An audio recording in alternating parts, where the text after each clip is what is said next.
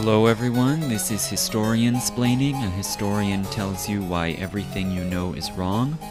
And these lectures are on SoundCloud, iTunes, Stitcher, and other platforms. And if by any chance you can help keep them coming, please go to my Patreon page. The link should be in the description. So, I want to talk now about the history of Central Asia, which is something that I've thought about for a long time, and a couple of listeners have mentioned it, and something that I've been aware of in the course of my studies. If you work on Europe, India, or China, Central Asia is kind of always out there, just, you know, beyond the frontier, just beyond the periphery.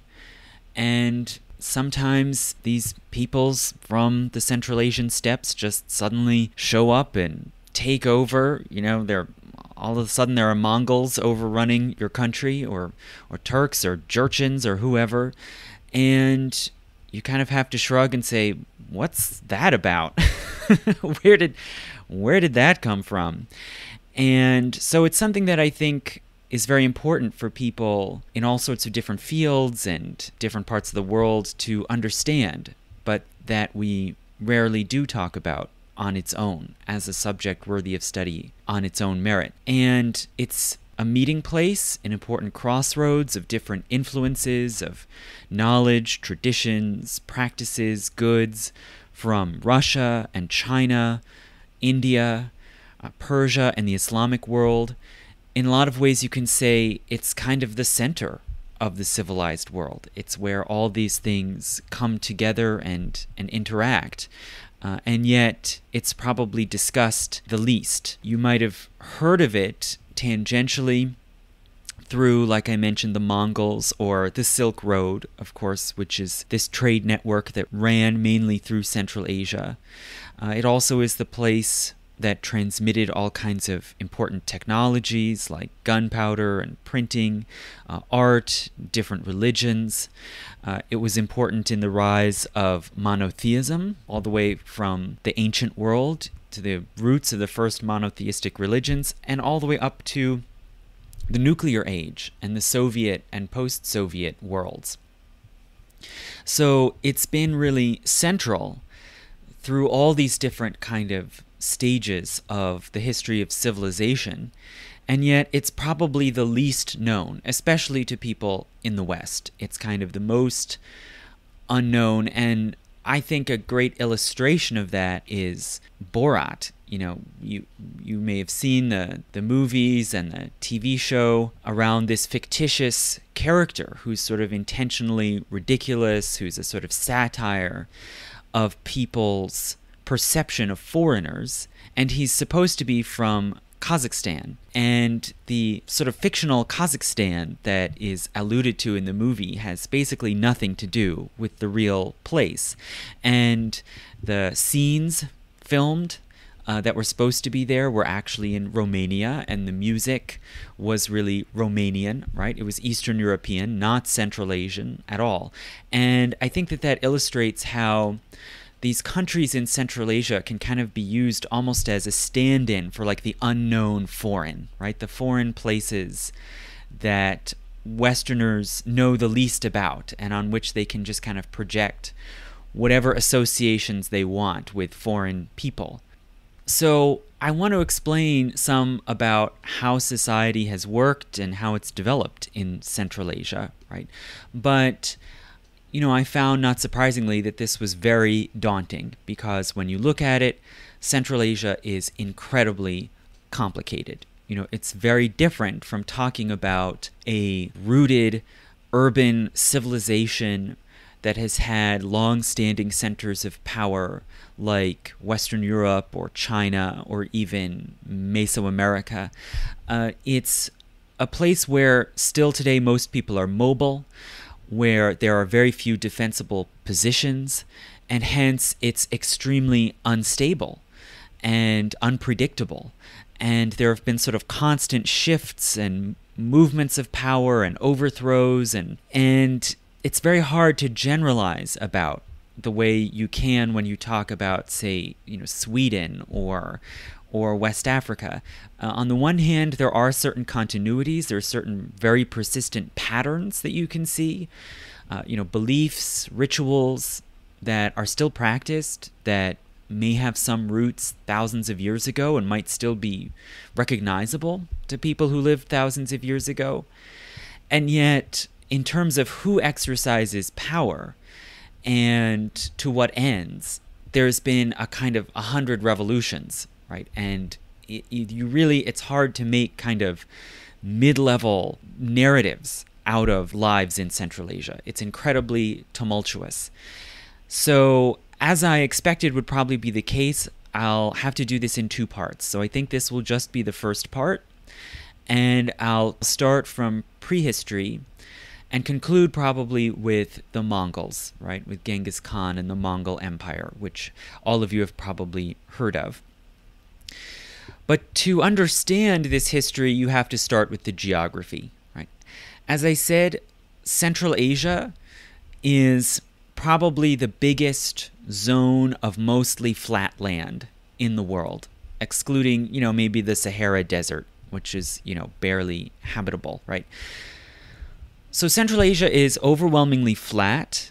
It's really right in the middle of Eurasia. It's kind of a misnomer to call it Central Asia. It's really the, the core of Eurasia. So it's the, the middle part of the biggest landmass in the world. And it's the largest region in the world that is totally surrounded by land and does not touch any ocean and is really not anywhere near any open ocean. Right? So communication, transport is totally over land. And yet, in a way, because it's so flat and because it's mostly grassy and it's dominated by these very expansive, flat, scrubby grasslands called steppes, uh, it's, in a way, you could say, a kind of ocean in itself. It's so easy to traverse quickly, especially on horseback. People can move fast, they can attack fast and they can sustain their lives in on a very large scale without settled agriculture, but instead depending on mobile living animals, including not only horses but cattle, sheep, goats, and so on. So in a way, people can move around it and communicate and intermingle much as they do on oceans when they have mastered sailing right? So that's part of why I'm calling Central Asia sort of the ocean of land. Uh, and and in addition to that, it serves as this crossroads and this place of intermingling, a lot like the shores of certain oceans do. And historians today will talk about the Atlantic world and how all these societies and colonies were so interconnected and people were moving and exchanging knowledge and goods in the Caribbean and, and Western Europe and West Africa. Or they'll talk about the Indian Ocean basin. Well, I think you can talk about Central Asia in the same kind of way, that there's this sort of greater sphere of the entire interior of Eurasia that was all kind of drawn in to this web of movement and exchange across the steppes. So, to be a little more precise, Central Asia basically is this agglomeration of steppes as well as desert and some mountains, not very much, but a few mountain ranges, that stretches basically from the Caspian Sea in the west over to China and Manchuria in the east. And it's centered, as I said, on this kind of belt of steppes that act as like a highway connecting east and west. And north of it, you have the Siberian forests, and south of it, the Himalayan mountains. Right?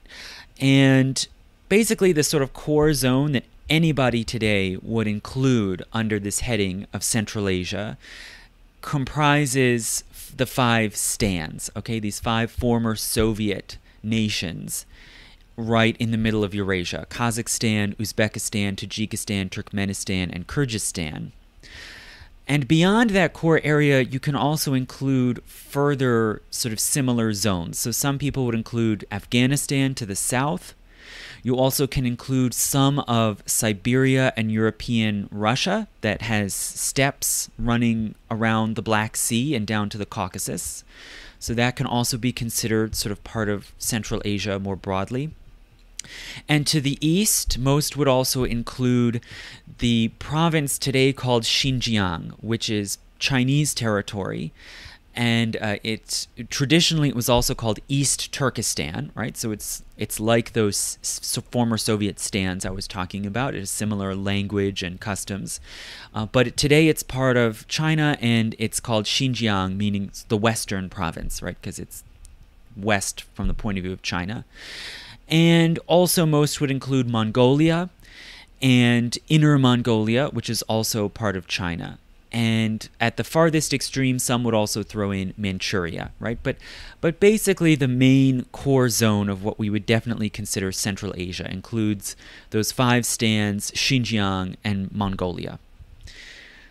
Okay, so this region, in terms of its peoples, its inhabitants, it's multi layered and multi ethnic, right? There are many different peoples, and I'll probably mention some, you know, the Iranians and Jews and Slavs, uh, but the biggest sort of broad umbrella groups are Turkic and Mongolic, right? And you can even lump those together into a sort of broad category of Turco Mongolic peoples who tend to speak fairly similar languages and that have a lot of exchange and a lot of familiarity with one another and a lot of overlap and intermixing, right, through migration and, and trade and contact, right? So you can see this sort of broadly similar, somewhat consistent Turco Mongolic group, right? And for a long time, people thought that the languages of Turkic and Mongolic peoples all came from a common root and that they could all be called Altaic languages, and that they had come from some sort of common ancestor, maybe in Siberia or uh, a part of Siberia near Mongolia. Uh, that theory has since been criticized and basically rejected. Most scholars don't believe that anymore, that there's a sort of single ancestor people of all these Altaic Turks and Mongols, but that actually they come from various sources around Eurasia and that their languages have grown more similar over time through interaction, which is a very interesting and unusual phenomenon. You know, we don't see German and Finnish becoming more similar, at least not until very recent times, right? We don't see uh, Spanish and Greek getting more similar, but that seems to have happened in Central Asia because the interaction is so intense. Again, because people are so unsettled, so mobile, and there's so much movement and mixing. The society of these Turkic and Mongolic peoples is based overwhelmingly on animal herding, right? The there are some places where you can farm and grow crops in Central Asia. There are oases, there are some river valleys where that is done. But for the most part, the steppes are too dry to really be able to grow much. And the, the soil, the terrain isn't good, but it is good enough to move animals across and graze animals. And so it's far more efficient and effective to make your living and survive off of herding animals. So, as I said before, on the steppes and in the deserts, there are very few defensible positions. And instead, because the land is flat and because it's easy to raise animals like horses, there's really a tremendous attacker's advantage. And because of this, you can see new empires very rapidly rising and falling all through the history of Central Asia. There's really a kind of kaleidoscopic shifting of power, right? As people will confederate, ally together, use their attacker's advantage to take territory, seize cities and trade routes, and then just as quickly either dissolve or be attacked and overthrown by someone else, right? And if we if we look at the history and read the history of Central Asia, especially the traditional histories that were written like in the 1920s and 30s, it can be extremely confusing as these new powers suddenly show up. Wait, now it's Seljuk Turks, now there are Khitans, now there are Kyrgyz. Like, who are all these people? Where are they coming from? What's going on? And that can be a bit deceptive because more often than not, these new states or tribes or ethnic groups that come to power and suddenly appear on the map, they're really just kind of loose alliances or confederations of small nomadic groups, right, that can join together, you know, like fingers coming together on a fist and suddenly becoming a power on the scene, but then going away again. And if we extend this metaphor that I was using before of an ocean, you know, imagine looking at Central Asia uh, from far above and seeing people or small bands, groups, clans moving around on the steppes. Uh, and compare them to, say, seeing fish moving around in a lake or an ocean. Uh, when a new group appears on the scene, it's sort of like when fish if you imagine fish coming together and forming a school and then moving together, moving in unison, uh, choosing a direction, right?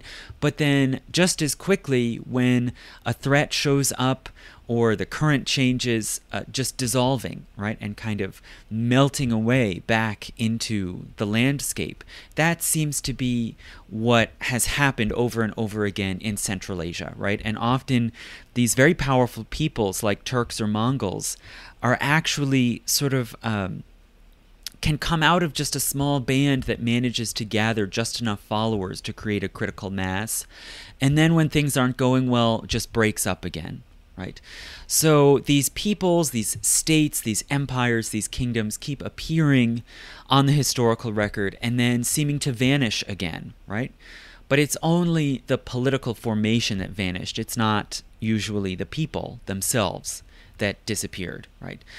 So this is an extremely complex history, and I'm going to try, I've sort of made a rough periodization here that I hope can clarify, you know, what what has happened and how how Central Asia got to the point where it was in the Mongol Golden Age, and then I'll probably do a part two and talk about uh, the the journey into the modern world, right? Okay, so if we go back to the prehistory, it seems that the first inhabitants of Central Asia were, you know, migratory hunter gatherers who moved into the steppes from various different directions, right? Probably from east and west and south. And they, you know, followed animals, they gathered uh, grains and fruits, and we don't know much ab- about who they were. Right? It seems that they probably were various different groups and tribes who spoke different languages, who came from different parts of Eurasia. A lot of them we just can't identify, but there's a good chance that some of them were Dravidian, meaning they were from uh, the the same large ethnic group in India that created the Indus Valley civilization in what's now Pakistan, and that still exists in southern India. So people who speak languages like Tamil, those are Dravidian languages in the southern end of India. So most likely a lot of these early uh, prehistoric people were, were Dravidian, but a lot of them were other groups we just don't know, right? Some of them then gradually started to adopt agriculture, and farming did begin, especially around uh, river valleys and inland deltas. And it seems that a few large towns did develop, maybe even as early as 6000 BC, sizable towns with food production based on irrigation, right? Uh, which was really necessary to make fields productive in such a dry area. Okay, now this it seems preceded by maybe a few centuries or so. It preceded the creation of domesticated animal herds. Okay, so animal herding started probably around 5000 BC and it began with sheep and goats, right, which were among the earliest domesticated animals in most parts of the world. And then, not long after that, maybe around 4700 or 4800 BC, horses were domesticated. And this was really pivotal. This began a, it catalyzed a big change in how people lived in the steppes. So the horses were domesticated probably first for food, you know, the same as sheep and cattle. Uh, then they also began to be exploited for other uses their hides, uh, their hair, which can be stronger and more abundant than other animals. And then as beasts of burden, right? Especially pulling carts and sledges. Then horseback riding was invented probably by around 3700 BC. Okay, and so with horseback riding, you don't need any other equipment other than just your own body and the horse. And critically, it can be used to manage large herds. So this multiplied the number of sheep or goats or cattle that you could move around with you as as a small family or a clan or a tribe when you could have uh, shepherds and herders on horseback. So after not very long, these farmers and also hunter gatherers shifted into dependence overwhelmingly on animals, right? They abandoned the practice of farming and irrigation in settled sites at least many of them did, and instead became nomadic pastoralists who kept their animals fed by moving them, especially moving them seasonally between different sites and up to higher elevations in summer and lower elevations in winter, right? So it seems that a small household, you know, of about five people, that seems to be the kind of bedrock basic social unit right from prehistoric times up to today in much of Central Asia. And a household of about five can be supported by a herd of about a hundred animals. Right, so we're talking about a society where there's you know 20 or so times as many non-human animals as there are humans and that is what supplies enough food and enough goods for people to survive society it seems began to be loosely organized into clans and into larger groupings of clans that we can roughly call tribes. And these clans and tribes did have hierarchies, right? There were people of uh, there were there were particularly clans of higher status than others, and there were leaders, uh, mostly men, who were kind of chieftains and who could expect service and tribute from their subordinates. But these leaders were relatively weak, right? They didn't have the kind of power, there wasn't the sort of powerful kingship that you might see in a settled city. Uh, many women also, it seems, were powerful leaders.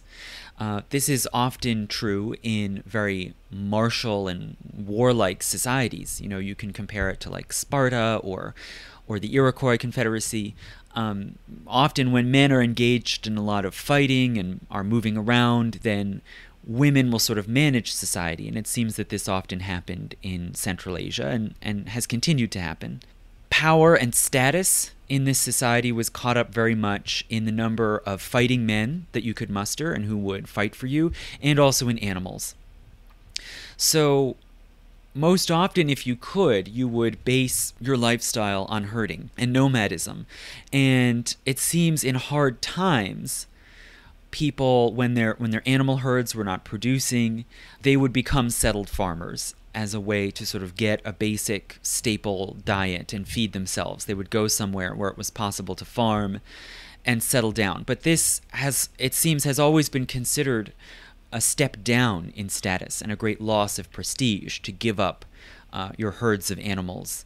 Uh, so you know there you can see it as almost a kind of reversal of status, right? Whereas the Greeks in their cities would look at themselves as highly civilized and cultivated and would look down on nomadic barbarians.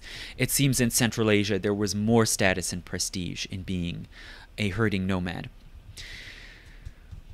At this early stage, if we talk about these prehistoric years, uh, we know very little of the gods or priests of the Central Asian peoples, but it seems that there was a lot of animal sacrifice. We can tell that from the archaeology, that animal sacrifice uh, was was very important, and a lot of resources were put into it, and there may have been gods, deities associated with animals.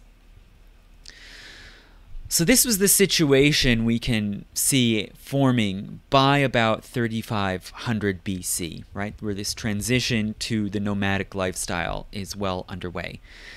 And it seems that uh, a new group of people showed up in Central Asia and moved in and invaded very quickly around 3500 to 3000 BC, taking advantage of this new nomadic way of life. And these people were Indo European. Okay, so that's a group that uh, I've mentioned before. They probably called themselves Arya or Arya and they originated, it seems, in the steppe lands around the Black Sea and the Caucasus, right? So in that area that's now kind of southern Russia and Ukraine. And they started to spread out very quickly and invade in all directions out of that original homeland. Some went westward into Europe and became the ancestors of Germans and Slavs and Latins and all those people, and also some went eastward into Central Asia. And this branch we call Indo Aryan or Indo Iranian. So they're the uh, progenitors of modern day Indian and Iranian people, right? But a lot of them also went into the steppes into Central Asia. So this Indo Iranian group adopted and improved upon the steppe nomadic lifestyle of the people who were already there and they were even more warlike. Okay, it seems that they created war chariots by around 2000 BC. Uh, and by 1500 BC, they had become known in much of the the um, in much of the continent. They'd become known as formidable guerrilla fighters who took advantage of horses to be able to attack quickly, make surprise attacks, um, shock and overwhelm their opponents, and quickly retreat. Okay, so this made it possible for them to to overwhelm and defeat both other nomadic opponents and people in settled farms and villages. Right. Over time, these sort of uh, raiding and guerrilla bands evolved into more disciplined military forces under stronger leaders. And a, another important technological development not long after this was the creation of small compound bows and arrows that can be fired from horseback, right? So instead of having to decide, well, am I going to ride on horseback and swing a sword or an axe, or am I going to ride in a chariot and fire bows and arrows? Now they had small, powerful bows that they could fire while riding on horseback in all directions and even uh, learned to fire directly backwards so that they could retreat from uh, an engagement that they were losing and fire at back at their opponents as they were pursued. And this made them practically unbeatable and indestructible as kind of lightning attack forces. They also developed games and sports on horseback to use as training for warfare. Uh, the game of polo which is known, you know, around the world today. Uh, it seems originated in Persia, so south of Central Asia. But then similar versions and variations on polo were quickly adopted and spread through Central Asia. And there's a sort of variation on polo that seems to have originated, you know, back hundreds of years BC, but is still played where the ball that you're trying to move back and forth is a, a dead goat right? And so this is again an illustration of how centrally important animals were, and almost everything that people used and exploited and depended on came from the bodies of, of animals. These nomadic peoples apparently also made more important uh, inventions and contributions that are more familiar uh, to us today. This was probably the time when the first stringed instruments were invented they probably also invented trousers, right? You know, pants with two legs, as we would call them in America, right? You kind of need that if you're going to be riding around on horseback. So, to be more specific, you know, what do we know about these Indo Iranian peoples and their languages, their life ways, and the groups that they formed? Well, the biggest confederated group seems to have been the Scythians, Okay, and this is a group that also made their way westward into Europe, and there are writings about them from uh, Greece. Also, there were Bactrians, Sogdians, and others, right? And some of them, like the Bactrians and the Sogdians, actually kind of dominated particular areas, particular zones of the steppe lands, and are still sometimes called by those names, Bactria and Sogdia. So the, the peoples, especially the Scythians, though, were described. They did not have writing, right? They did not use writing, but there were civilizations that knew of them and interacted with them that did write about them, both to the west and the east. So there were Greeks like Herodotus, who wrote about the Scythians and Chinese scholars that did as well. And it seems that both sources on both ends of Eurasia uh, agreed in certain points in how they described the Scythians. They were very warlike. They had all kinds of customs to show off their fearsomeness and to frighten their enemies.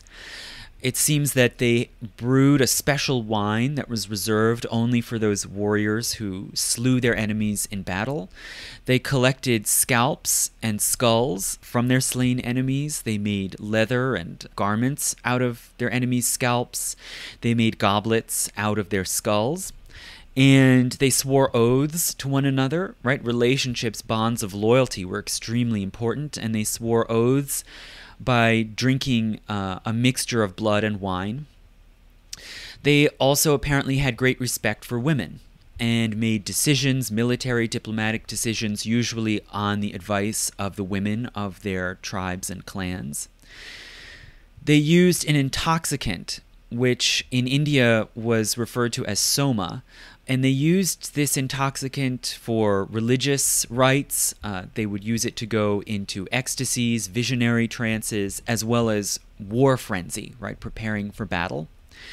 They had a very respected priestly class that performed elaborate rituals, especially rituals of purification. There was great concern for purifying one's bodies, one's weapons, and so on. And as for their beliefs about the world and the cosmos, it seems they believed in a certain magical or invisible power of animals. Uh, they had rituals, again, centering on animals and animal sacrifice. Uh, some of their priests could loosely be called kind of shamans who had a special relationship to animals. They had a kind of animism. They believed that all things have a spirit, not only animals and people, but objects, plants, and so on. Everything is sort of imbued with spirit, and there's a sort of overarching order to the world and the cosmos, which they called Asha, which harmonized and linked together all of these kind of spiritual existences. And they believed it was a human duty. There was a sort of ethical duty to maintain this Asha, which included ensuring justice, right? Uh, retributive justice, distributive justice among people, and to fight evil. And it seems that somewhere around 1000 BC, although the date is uncertain, one particular Central Asian priest named Zoroaster had a series of visions and began to deliver prophecies and teachings and he preached monotheism, that there is only one true God, that this God stands for good and justice as opposed to evil, that people must uh, purify themselves and commit themselves to the service of this God, and that there will be a future judgment day, a sort of final confrontation between good and evil in which people will be judged Okay, so this is certainly one of the first appearances of monotheism. So Zoroaster's teachings and his writings apparently made their way fairly quickly to Persia, to this larger urban civilization to the south, and were very popular and were eventually adopted as the state imperial religion of the Persian Empire. In Central Asia, it doesn't seem as if they caught on to that degree. Some people did embrace Zoroaster's teachings and rejected the worship of other gods and adopted his monotheistic doctrine, uh, but it never became as broadly popular and certainly never became a state religion in any Central Asian land the way it did in Persia. And it's because of Persia that these ideas and teachings went on to influence Jewish beliefs and later Christianity and Islam.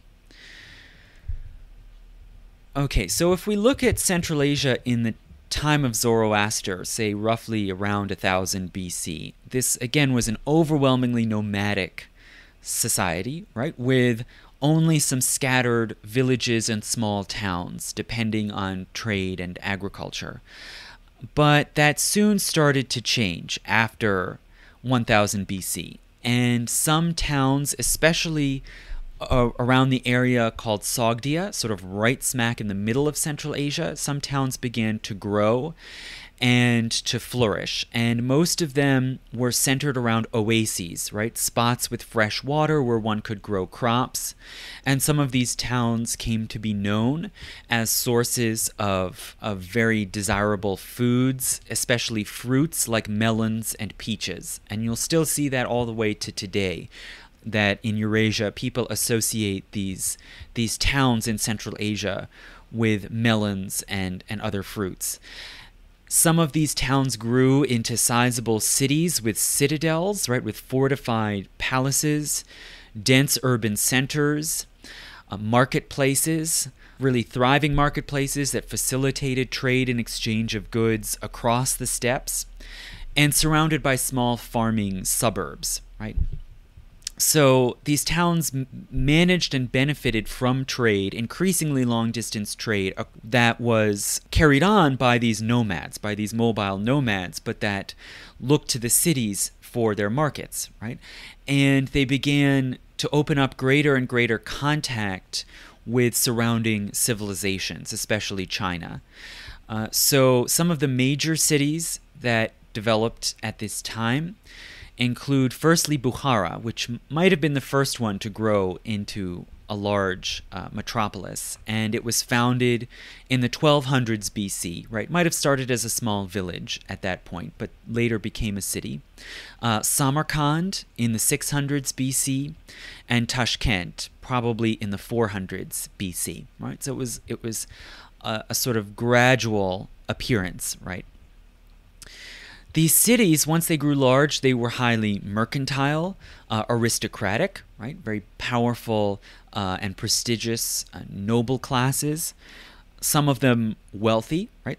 Uh, wealthy even compared to other societies around them, like Persia.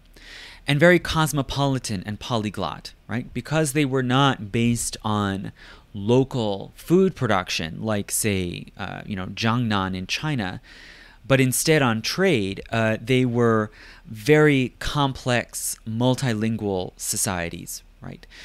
And many people worked not only as merchants but also as translators and uh, and travelers, geographers, uh, and really you can think there's a kind of lasting cultural image, a kind of archetype that has been passed down in the Western imagination uh, from these these Central Asian cities. You know, if you think of like Qarth and those wealthy eastern cities that you see in Game of Thrones, or Tatooine, the sort of frontier, you know, merchant trading post in Star Wars, all of them are in some way borrowing these images and associations from the Central Asian cities.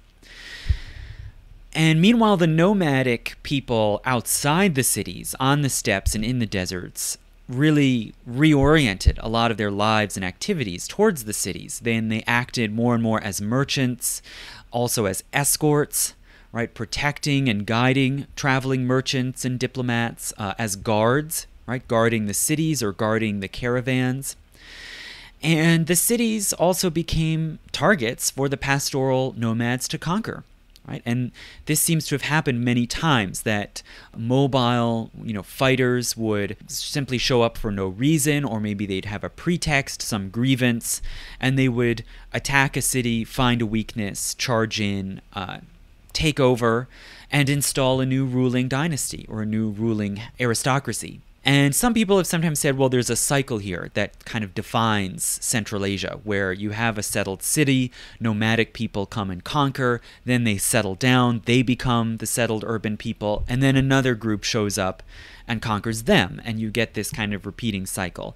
And the truth is that did happen, at least now and then, but you know, it's not that simple. it wasn't always this clear repeating cycle. You know, sometimes the, the nomadic people would come in, then they would leave for some reason, or there would be a rebellion, they'd get overthrown. It, it went in all kinds of different directions. It wasn't this simple repeating pattern, right? Another frequent pattern that probably is more consistent than that is that nomadic people wanted to control the wealth and the splendor and the prestige of the cities. And in order to do that, they took on advisors, right? And there was this frequent kind of partnership and alliance between nomadic warlords and highly trained, knowledgeable urbanites who knew the languages, who knew the geography, who knew how to collect taxes, and would act as kind of grand vizier type officials for the warlords who very often didn't even live in the cities, who just wanted tribute, but who lived in their encampments outside the cities. Okay. So this is the basic sort of terrain we can see of of the Indo-Iranian uh, Central Asian world in say up till about 500 BC, right, roughly. After that point, Central Asia got pulled into imperial politics, right? New empires showed up and began trying, with various degrees of success, to conquer and annex Central Asia into a bigger global imperial world. So the first person to try to do this was the Emperor Cyrus of Persia, who was really the main founder of the Persian Empire. And he invaded and you know, managed to seize control briefly over some of the cities uh, north of the Oxus River, right? So, uh, this area I've been calling Sogdia is also sometimes just called Transoxiana, right? Which is actually the Greek word for the lands beyond the Oxus River. And so he invaded and briefly occupied a bit, but then was defeated, killed, and beheaded by the Scythian queen Tomiris. right? So it wasn't the cities, but the, the nomads who defeated him. And reportedly, uh, after uh, defeating and killing Cyrus, Tomiris severed his head and put it in a sack filled with blood and declared, Now the bloodthirsty conqueror can have his fill, right? Uh, so again, you know, this kind of uh, dramatic ritualized violence as a demonstration of, of power and courage. Now, later, Darius I of Persia, a successor of Cyrus, was able to conquer most of Bactria and Sogdia and install uh, rulers called satraps in those cities, but he was still not able to conquer the Scythians. Okay, so Bactria and Sogdia were managed kind of indirectly as autonomous provinces uh, or satrapies within the empire. And that was the first time that some sort of larger imperial rule was imposed, however weakly, on these cities. Later, another successor, uh, Darius III, was attacked and defeated quite suddenly by Alexander the Great. Right, so in the 300s BC, Alexander charges in, defeats the emperor, forces him to abandon and flee from the capital of Persepolis. Uh, Darius fled up into the satrapy of Bactria, seeking protection, and the Bactrian satrap named Bessus simply killed him. Uh, and tried to usurp his throne and assume rule over the empire and fight back against Alexander. But Alexander simply uh, continued, uh, pursued Bessus into Central Asia, defeated him, seized control of these provinces, and not long after, he married a Sogdian princess named Roxana as a way of trying to solidify his political control over the Central Asian cities. Uh, on his way, as he moved his forces into Central Asia, he founded several Alexandrias, right? New military cities named after himself. And several of them are still there in some form, including uh, Kandahar, right? So the city of Kandahar in Afghanistan, you may have heard of, was originally Alexandria, right? Now, Alexander, you may uh, know, was forced by his troops to stop his conquests and turn back to uh, to Babylon in Mesopotamia, and he died there, probably of pleurisy, not long after returning to, to Babylon. And after he died, his empire quickly broke up, and his various lieutenants uh, fell to fighting one another over who's the successor and over territory. And so some of his governors that he'd installed in Bactria uh, broke away and formed their own kingdom, which we call the Greco Bactrian kingdom. right? So it has united together some of these Central Asian cities, uh, but its rulers and its elite are largely Greek, and the main shared language is Greek. Uh, so this Greco Bactrian uh, kingdom lasted for several centuries. It controlled a large chunk of Central Asia, especially the whole southern band, and it adopted Buddhism. Right, the leaders uh, learned of Buddhism from priests from India, and they sponsored a sort of tradition of Greco Buddhist Hellenistic art. And you can see great sculptures, for example, depictions of the Buddha in a kind of classical Greek style. But this kingdom eventually ended uh, in collapse. It was overrun by invaders and collapsed probably in 128 BC, leading to a period of chaos and fragmentation. Now, why did this Greco Bactrian kingdom collapse? Well, it seems that that was the result of a sort of destabilizing chain reaction that started much earlier, decades earlier, with China. So the chain reaction began from China. So China, under a series of very strong and effective emperors of the Qin and Han dynasties, became uh, more effectively unified and asserted its control more directly over a large portion of East Asia. And it began to expand northward, sort of beyond the central homeland of Han China into the steppes and the deserts north in the areas that are now Mongolia and Siberia. And they also began to secure more of this northern frontier with walls, right? The beginnings of what we now think of as the Great Wall. Well, these assertions by China upset and disturbed nomadic peoples to the north. And around this time, or maybe earlier, these nomadic peoples formed a confederation, which the Chinese referred to as the Xiongnu. That's how they word it in their writings, okay?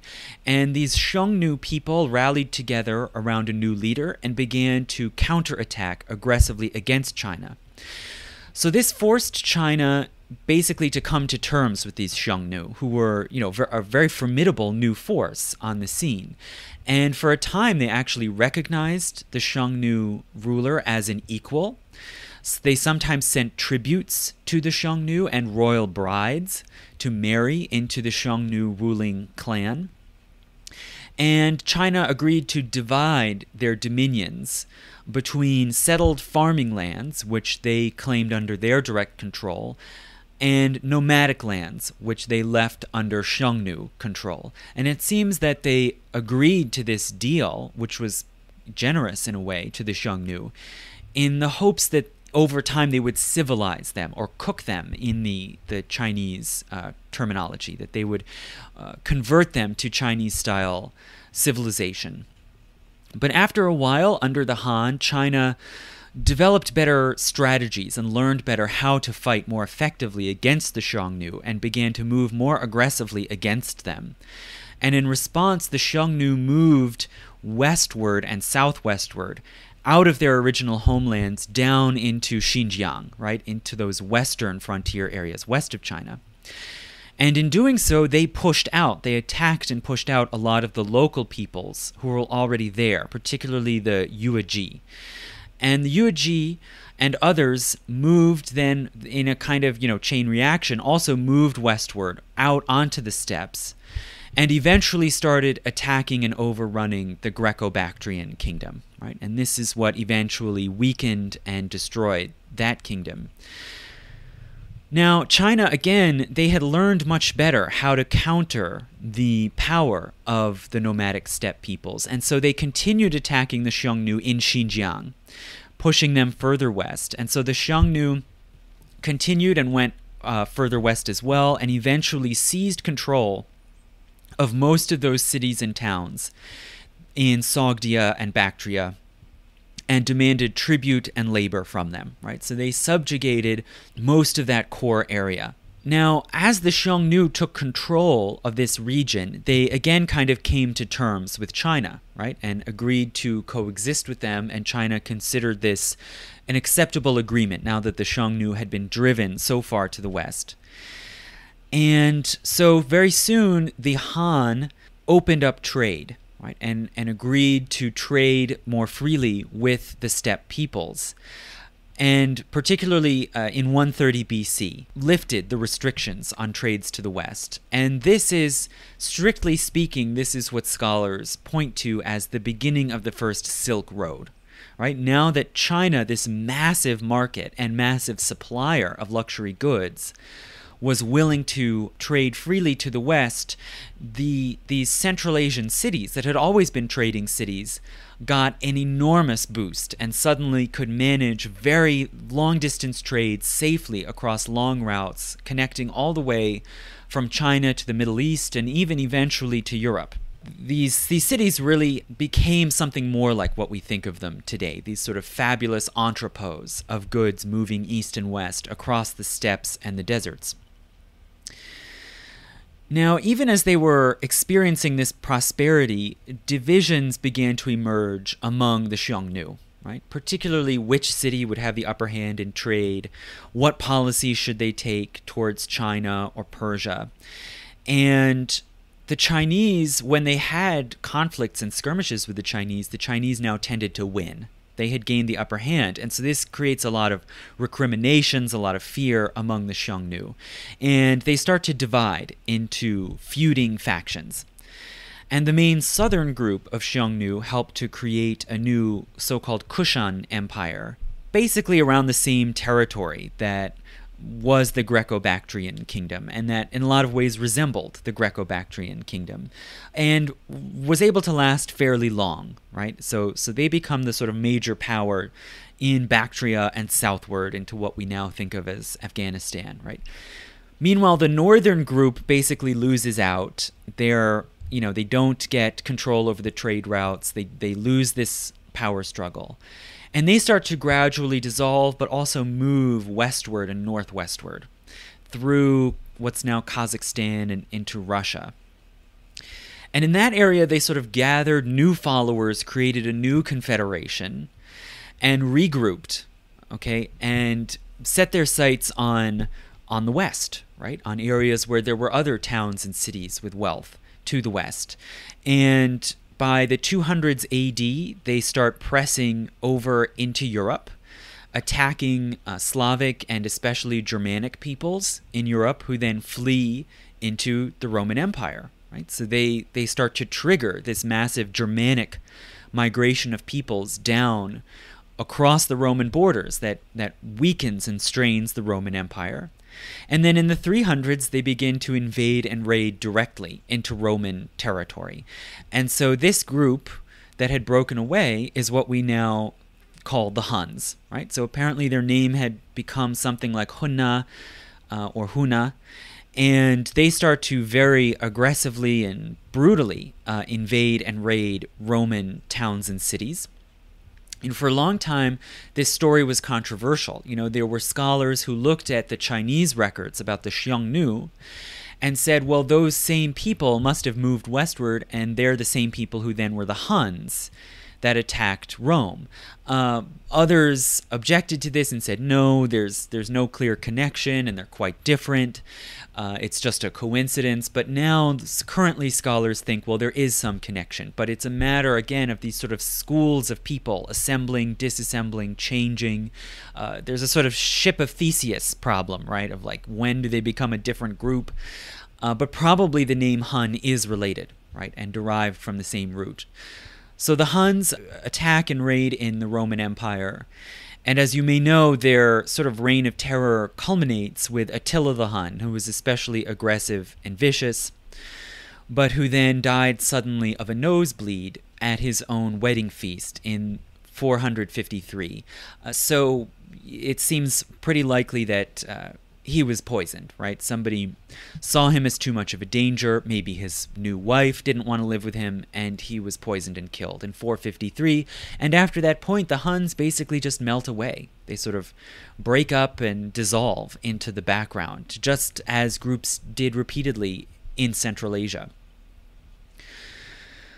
Okay, so after the uh, you know the breaking apart of the Xiongnu dominion in Central Asia, you get a kind of second interregnum and time of fragmentation and, and chaos. And it's at this time that another group appears really more quickly and more aggressively out of the same area that the Xiongnu came from. Probably that sort of far eastern corner of Mongolia, the sort of border of Mongolia and Siberia. And rush into Central Asia very rapidly, just at the time when the Kushan Empire is collapsing.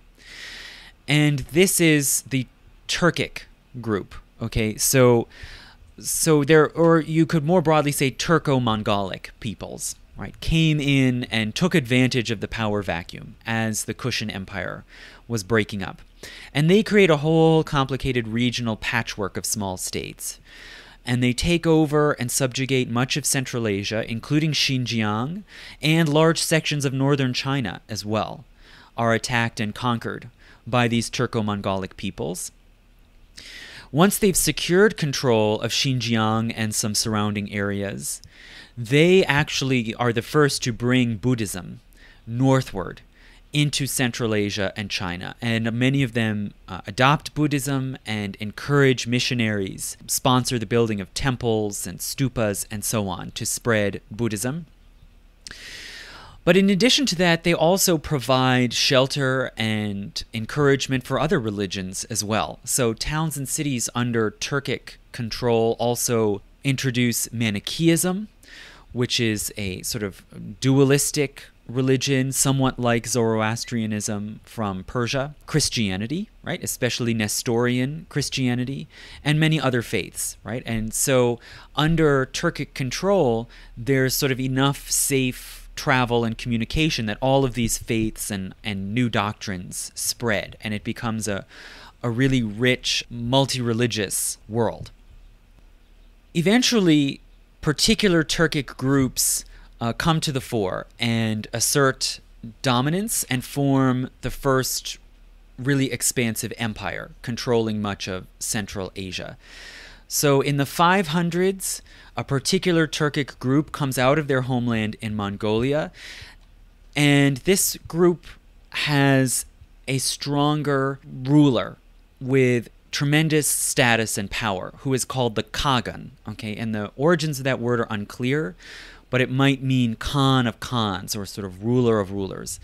And the Kagan was considered a kind of divine figure, and he was called Heaven Conceived, and he was considered to be linked to Tengri, which is the ancient word for the sky god or personification of the sky or the heavens. So he was a sort of quasi shamanic figure, and the Kagans were considered to derive their legitimacy from their control over certain sacred lands. Okay, there were what they considered a kind of holy land along the Orkhon River in Mongolia, and they had certain special powers and privileges, like control over a sacred herd of deer that no one else was allowed to access. And sort of with this greater authority and prestige around the Kagan, this group of Turks in the 500s was able to quickly conquer westward and consolidate a large, powerful empire. And they took territory from these these other groups that had been there earlier, and also from Persia, which had retaken some lands down around Bactria in that area. So the Turks consolidate this massive territory and then continue westward and eventually confront and sort of harass the Byzantines in in what's now Turkey, right? We we call it Turkey because it was eventually conquered by the Turks. So they really create the first massive continental empire, really linking all the way from China to Europe, right? From from East Asia to the Black Sea. They take control naturally over the the cities in Transoxiana, right, including Bukhara, Shash, Samarkand, Kucha, and Khotan. And these cities had formed kind of loose, shifting confederations, right, uh, to ally together and try to protect their trade routes and so on, much like the nomadic tribes did. Uh, but they were eventually uh, forced to recognize the Turks as their overlords and pay tribute. And in return, they grew and were able to benefit from a renewed Silk Road trade, right? So there was a sort of second flourishing of the Silk Road. The cities were visited often by Chinese travelers and diplomats. And so we have information about them, especially from these Chinese writers. Uh, they were they had massive markets supplying all kinds of foods, spices, cloth, precious stones like jade. They were connected mainly by camel caravans that traveled along the caravan routes. And the caravans were supported by so called caravanserai, which are sort of fortified inns or hostels placed along the routes on the steppes and in the deserts. And they were usually square, uh, organized around a central courtyard, which was defensible. And they were places for rest, resupplying, of you know food and water, animals, security, right, for protecting the valuable goods that you were transporting, and also for worship, right? You people could uh, go to uh, Christian or Buddhist shrines and worship at these caravanserai. So the Transoxianian cities were again multi-religious, Buddhist, Zoroastrian, Nestorian Christian, as well as worshiping local gods, uh, temples to animal figures. Uh, they were multilingual. People in the cities more and more began to learn multiple languages and multiple writing systems. Right, so whereas it, it, writing had come in from outside areas like like China and Persia, and by this time, by the Turkish era, there are inscriptions and documents being created there in Chinese, Tibetan, Turkic, Tocharian, Indic, Greek, Armenian, and Iranian. They were multi class societies, right? They had an upper class of nobles, which went back to ancient times. Also, merchants, uh, ca- castes of merchants, which could often be just as powerful and wealthy as the nobles, and commoners, which included peasant farmers and laborers. The Turkic Empire, if we sort of zoom back out and look at this extensive empire, the Turkic Empire did not have a fixed capital, right? It did not adopt any of those merchant cities as a capital, but rather the Turkic capital was a, you could say, a kind of mobile city. It was a moving encampment of tents, mostly heavy canvas tents called yurts, that housed the ruler and his main administrators and his army, and that could move seasonally or that could move with military campaigns. And these encampments were called ordu. The center of power basically was the royal or imperial ordu, right? The ordu of the Khagan. And our English word horde comes from that Turkic word ordu. Uh, you know, but it didn't just mean a big, you know, massive pile of warriors. It meant this this encampment that was the center of authority.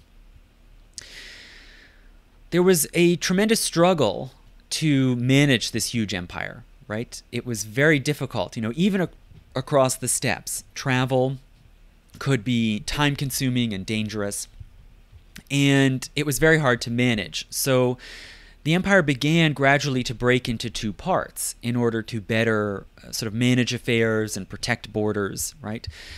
But even as it took that step, much like the Roman Empire, not long before this, the Roman Empire also split into eastern and western halves, but it still continued to weaken, right? That didn't fully solve the administrative problems. And there was a lot of controversy, it seems, within the Turkic imperial court over what sort of empire it should be. And there was controversy between those who wanted to settle down, build towns, build temples, and become more like, say, China or India, and those who opposed this and who argued that the strength of the Turkic Empire was in its nomadism and its mobility, right? And so there was a sort of push and pull between these different parties, and it seems that the pro nomadic party basically won out.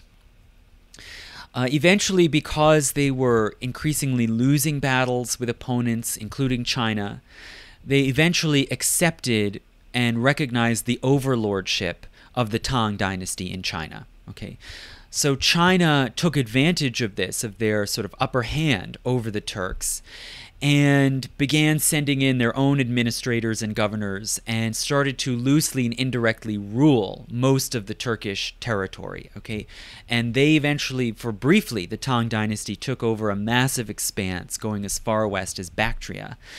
Uh, and they started to learn about and even admire the Central Asian peoples and their art and their lifestyle. And there were fashions in China for Central Asian music and dance and art and fabrics like Turkish rugs and tapestries. Uh, eventually, the Turks turned against this and, uh, you know, believed that the, the Chinese had pushed too far and overstepped their authority. So the Turks began to rebel and to try to reestablish their empire, especially in the West. So they sort of pushed back against the Chinese and had for a little while a kind of Indian summer of, of Turkish flourishing. But it didn't last for very long, and they were weakened again and challenged especially by two new important forces to the east and to the west.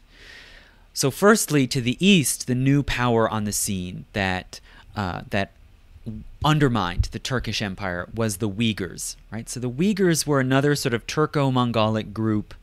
Probably a lot of them had already been Turks, but sort of broke away and formed their own group.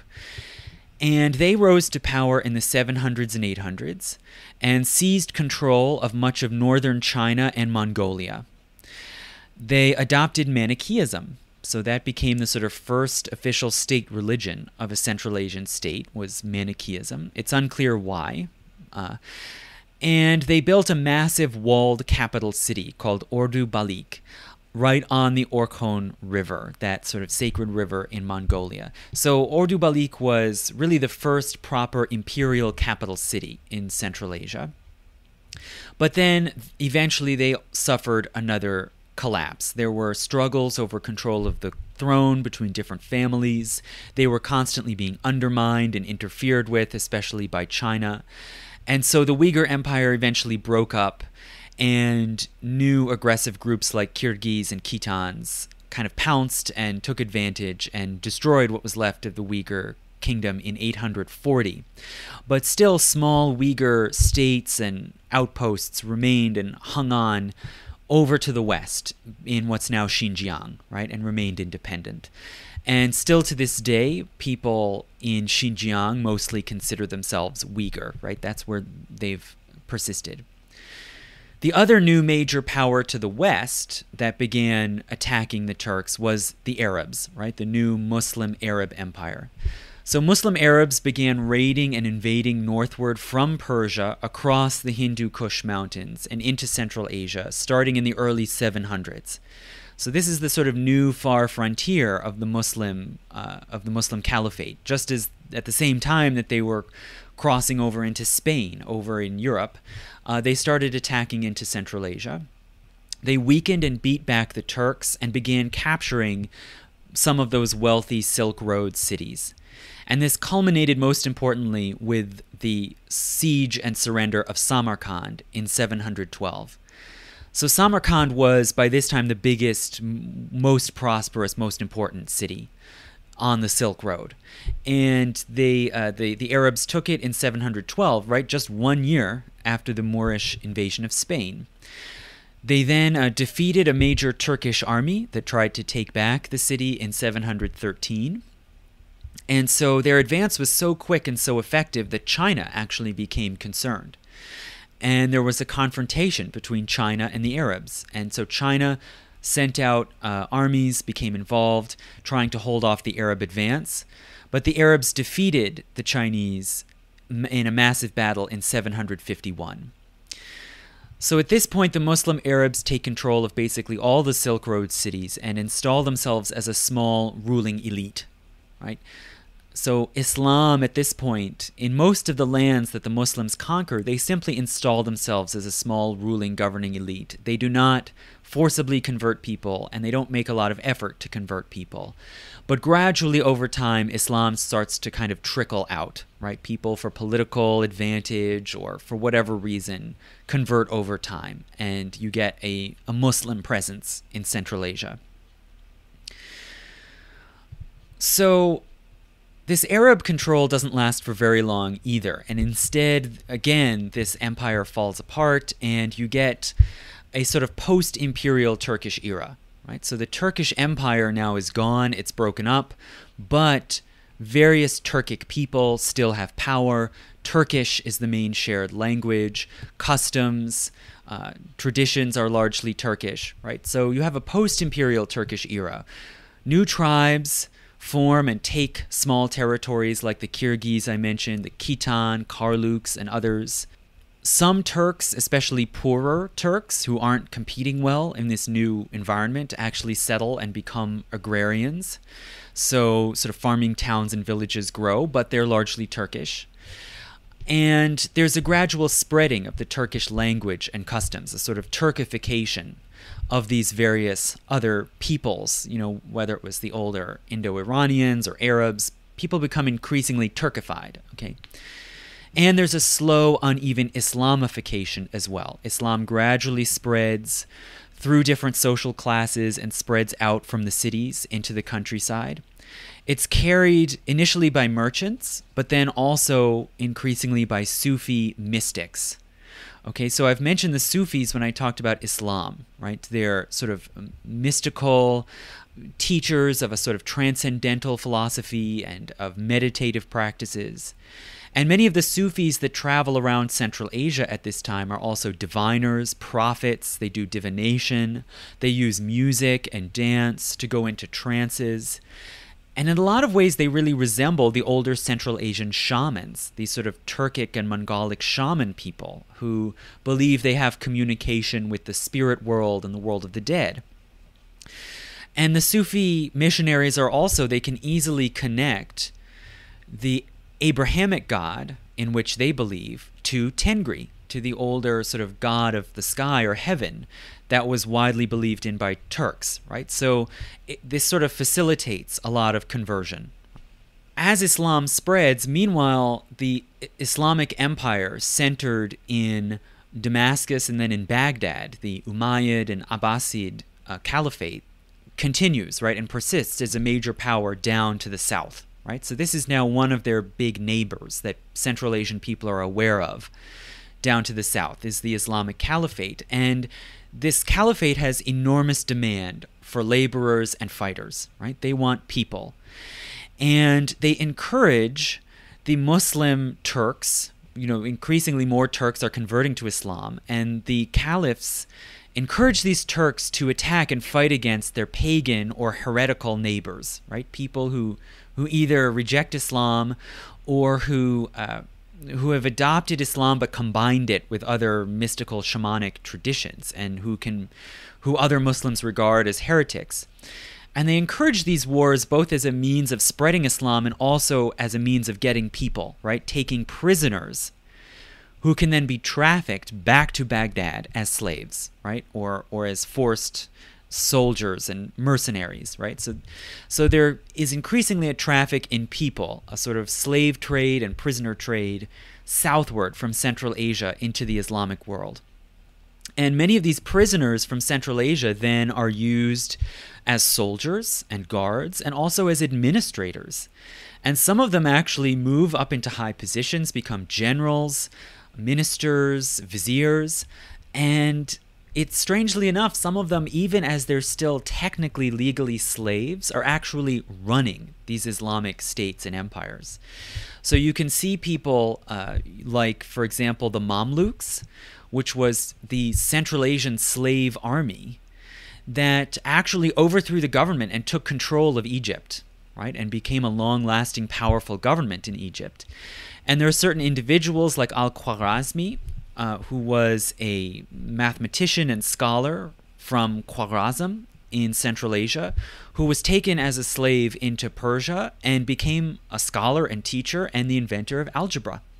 right? So it was one of these Central Asian captives who became a sort of major leading intellectual light of the Islamic world. Okay.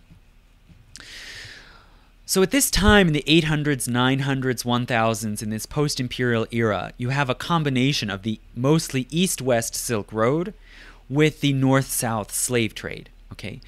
And these two trades together really enrich a few groups and a few cities that are able to sort of uh, occupy crossroads and insert themselves into both trades.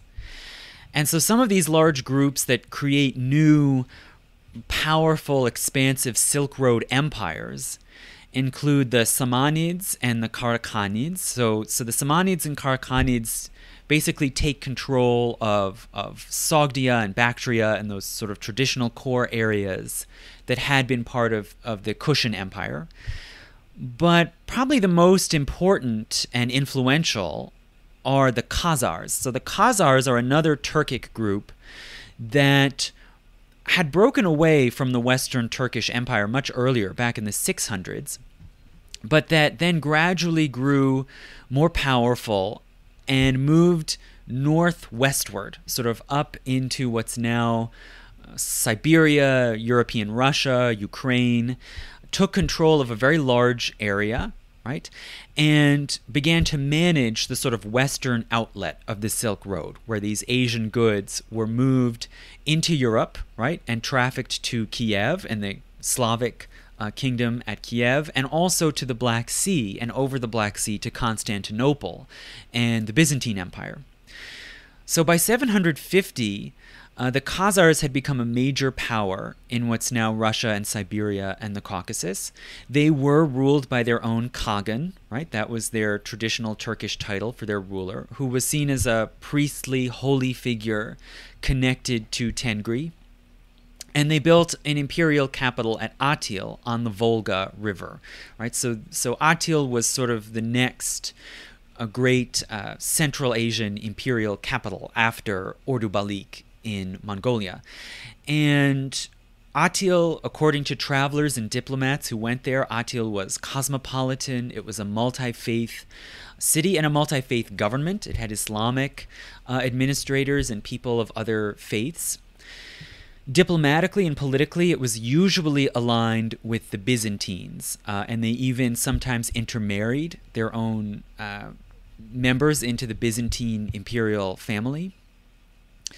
Now, allegedly, according to several sources from later years, from sort of around 1000, uh, the Khagan, the ruler, converted around the year 800 to Judaism. And this is a fairly consistent claim we see in several independent sources that the Khagan and the upper class of the Khazars converted and became Jews. Uh, some scholars have disputed the authenticity of this claim, but you know, it's sort of weird. Why would these various sources say this if it wasn't true?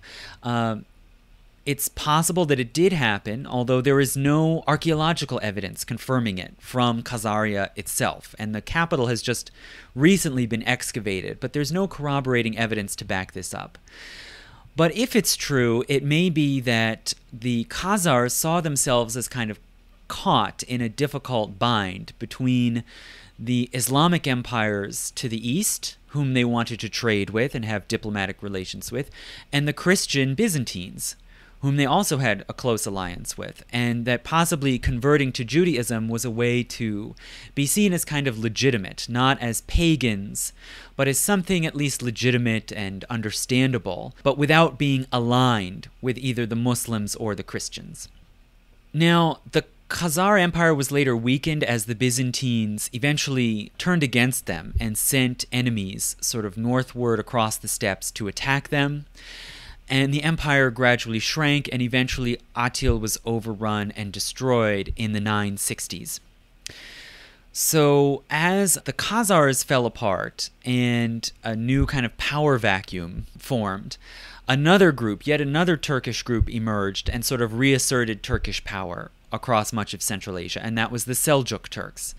So after about 1000, the Seljuks regrouped, retook control of much of what had been Turkish territory, and become known as a very formidable army, much more powerful than anything that the caliphate at this point can muster. So the caliphs in Baghdad actually invited Seljuk Turks to send an army to Baghdad to act as protectors of the caliphs and they began simply seizing more territory further west through the Middle East and into Europe. and they defeated the Byzantines in 1071 at the Battle of Manzikert and seized control of much of Asia Minor, so a lot of what's now Turkey. Uh, and this is part of what then eventually provoked the Crusades, as it really alarmed Christian Europe. Other Turkish states, like the Samanids and the Karakhanids, uh, persisted through these years, but gradually declined and weakened, fell to infighting, and were also taken over. A lot of their territory was taken by the Seljuk Turks. So by 1100 or so, the Seljuk Turks are clearly kind of the main power uh, in the region. Okay, so finally, uh, if the Seljuk Turks were doing so well, what happened to them? Why did they not remain as the main empire? Well, finally, another new group that was not Turkic but was distantly related to Turks also emerged from that area far to the east, north of China, up in what's now Mongolia and Siberia. And that was the Mongols, right? That's why we call it Mongolia. So the Mongols were, it seems, originally a loose grouping of distantly related tribes around that area, the sort of far northern, northeastern corner of the steppes and the Siberian forests and they were often fighting against their rivals, the Tatars, right? So they were there was this sort of long blood rivalry of Mongols and Tatars, and they began in the early 1100s. They began to organize and try to form a tighter alliance in order to face off more effectively against both the Tatars and China. So, a particular Mongol man named Temujin was born in 1162, and he grew up in a fairly poor and politically weak clan in sort of in the mix there among these Mongols. Uh, and he didn't have a lot of prospects. You know, he didn't have any connections to major chieftains. Uh, his father died when he was fairly young. But he would go out on adventures, sort of, you know, raiding adventures like you do, with, with his brothers and eventually with friends and followers. And he distinguished himself by his talent, uh, in fighting and his strategic talent and, all, and by his charisma. And so he gathered a larger band of followers, fellow adventurers, and some of them, it seems, swore oaths to one another and became blood brothers, which is a very important relationship, you know, like family among Mongols and he was able to take his sort of growing band of followers and successfully defeat the Tatars, right? Win a decisive victory against the Tatars. And after that victory, his Mongol supporters declared him Genghis Khan, right? They gave him this title of Genghis Khan or Chinggis Khan, which probably meant universal emperor. So his army only grew further very quickly and became a multi tribal army, right? That held personal loyalty to Temujin himself, right? Rather than being organized along clan and familial lines, it was about personal commitment to Genghis Khan as a leader. And they rapidly invaded westward and quickly steamrolled over all sorts of opponents, right, including various Turkic groups. Most of them just submitted immediately, right, rather than have to face off against Genghis Khan. They simply immediately surrendered.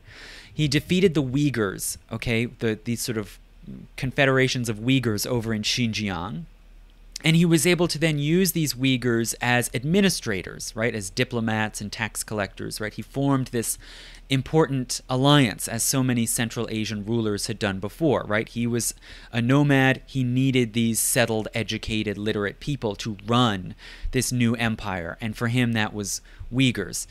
Uh, and they also acted as conduits, you know, introducing him, giving him knowledge, uh, and communicating with the settled urban world. So, with their help, he captured Samarkand, that major city, in 1220. And because Samarkand had resisted, he massacred thousands of people and enslaved those who were skilled, like skilled artisans or scribes. He enslaved them and used them as labor for his army, right? And this became the pattern for Genghis Khan that he he could accept peace, peaceable surrenders, but when he met resistance, he would act with great brutality, right, to to crush opposition and impose control. Okay, so within a few years after 1220, he has now basically conquered everything that had been the older Turkish empire, right? He's, he again has this massive empire stretching from Siberia and Mongolia and sh- through Xinjiang and Sogdia and all the way over to the Caspian, right? He's an incredible uh, sort of juggernaut of power. And like the Turks before him, he finds it's very difficult to administer this empire, and so he starts to divide it among his sons. Okay, and in each son or grandson acts as a kind of local governor, right? And each sort of sphere or zone of the empire is called an ulus. Okay, so these sons, each of whom has his own ulus as a base of power, then also sets out further in all different directions. Okay, and some go down and conquer Iran okay, or Persia to the southwest. Russia is conquered to the northwest. Uh, and some Mongol armies even go beyond Russia and invade Poland and Hungary for a brief time, okay. In 1258, a Mongol army invaded southward into the Islamic Empire and captured and destroyed Baghdad. Okay, so this is this is the end of that Abbasid golden age, right? The Mongol destruction of Baghdad. In 1260, they continued westward through the Middle East and eventually uh, invaded into what's now sort of Syria and Lebanon, and were finally stopped at Ain Jalut and were defeated by a Mamluk army led by a commander named Baibars, who was born in Central Asia, basically in what's now Kazakhstan, and then had become a captive and uh, a Mamluk fighter and the ruler of Egypt. So so it it took a Central Asian leader like Baibars to finally stop the Mongols. Okay. So the empire was divided into these several ulus, and over time, especially after Genghis Khan died, it became increasingly fragmented, right? This is what happens over and over. It was still technically one empire and with one with one leader, with one Khan, but really the different uluses were like different separate kingdoms and they started to compete with one another. They stopped cooperating. The most important and most powerful ulus of them all was certainly China, right? So the Mongols early on had conquered the sort of northern edge of China from its Turkic rulers and eventually, the grandson of Genghis Khan, called Kublai Khan, became the ruler of that Ulus, and he then successfully invaded southward and conquered the rest of China. Okay, and he becomes the major power controlling much of East Asia. Uh, he has a very rich, splendorous court blending Mongol and Chinese art and customs. Uh, this is the court that was supposedly visited by Marco Polo, right? If it if if Marco Polo was telling the truth that he really traveled all the way to China. He reported receiving an audience with Kublai Khan and seeing the beautiful art and the, the perfumes and the food of this beautiful court. Kublai Khan also completed the conquest of Korea and he launched failed attempts at invading Japan, Vietnam, and Indonesia. Right, in Indonesia, he sort of briefly uh, conquered and occupied Java before being evicted uh, by the local people. So between about 1250 and 1350, you have a sort of Mongol golden age where the empire is the biggest land empire that's ever existed, and it was extremely rich. It facilitated extensive trade, contact, uh, exchange of knowledge, beliefs, ideas. Trade was extremely lucrative, especially for sort of multilingual cosmopolitan people, right? The Mongols helped create this kind of new class of widely traveled, sophisticated merchants and officials and writers and artists. Uh, there was tremendous cultural exchange. You know, at the height of the Mongol Empire, people were learning and cooking Chinese cuisine in Iran. They were there was an orchestra at the imperial court in China that had all kinds of Western instruments, including a Western style pipe organ. Uh, there was just a huge flowering of art, cloth, embroidery, music, dance uh, new sports like uh, you know polo. This is when polo became a really international game and spread all over the Mongol Empire, even as far west as the Mediterranean. Wrestling, uh, the Mongols sponsored international championship tournaments in polo and wrestling. But the Mongols themselves, after they spread out among this huge empire, they mostly assimilated to their subject peoples, right? The Mongol language really wasn't adopted, although some people did learn it and there were dictionaries uh, it didn't really spread, and rather Mongols adopted mostly Turkish, right? And they intermixed with Turkic peoples. Uh, Turkish spread, so rather than Mongolifying most of the empire, instead it continued to Turkify, right? And Mongol and Turkic peoples intermarried, intermingled, and if you read Western European sources talking about the East at this time, they talk about these people as Tatars, which is really a misnomer, right? They weren't mostly Tatars, but that was sort of their catch all word for this blended sort of Mongol Turkic, Turco Mongolic people that ruled this empire. And the local differences grew over time, right? The, the ruling peoples in the different uluses became more different as they adopted local ideas, practices, traditions, right? And this probably only furthered the rivalry, the division, the refusal to cooperate among the different branches of the empire as they saw each other as increasingly foreign, right? And more and more, many of them began to sponsor assassinations, right? Poisonings of one another's leaders to try to weaken one another. And eventually they all uh, became unstable and sort of broke into minor regional states, right? So the Mongol heyday didn't last all that long, right? It, it didn't last, it, it, it did last for several generations, but it was not as persistent as Egypt or even Rome.